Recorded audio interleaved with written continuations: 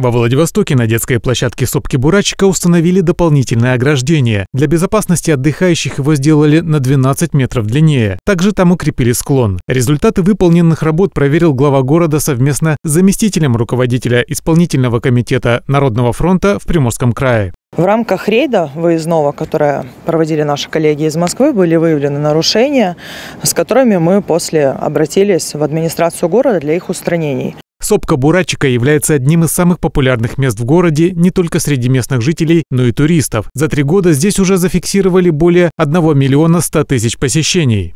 Очень радостно, что есть ребята неравнодушные, есть те люди, которые искренне любят Владивосток и хотят, чтобы город Владивосток и конкретно его локации становились только лучше. Мы сейчас находимся, вдумайтесь, в одной из локаций, которая признана и входит в десятку лучших в стране. Учитывая популярность места, этим летом на сопке Бурачика планируется открыть места для торговли или точки общественного питания. Для этого проведут конкурсные процедуры. Артем Белов, Елизавета Драгомирова. Новости на восьмом.